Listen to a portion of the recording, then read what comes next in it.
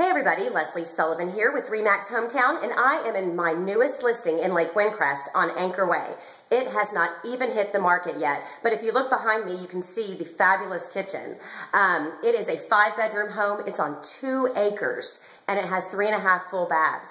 Anyway, um, two of the bedrooms are downstairs, so it's perfect for that nanny quarters or a mother-in-law who comes to stay with you, or just your guests. Anyway, give me a buzz if you want more information about this property before it hits the market. 281-639-8669 and make it a great Monday.